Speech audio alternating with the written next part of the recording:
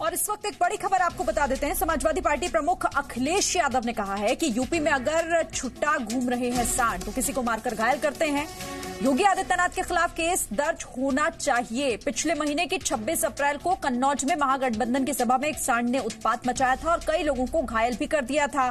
और इस उत्पात से चिढ़े अखिलेश यादव ने अब मांग की है कि किसी को मारकर अगर घायल किया है तो योगी पर इसे लेकर केस दर्ज होना चाहिए।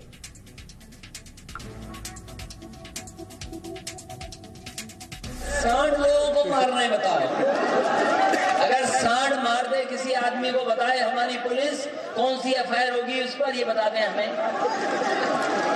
कौन सी एफआईआर होगी, बताएँ, हमें धारा बताएँ ये पहले।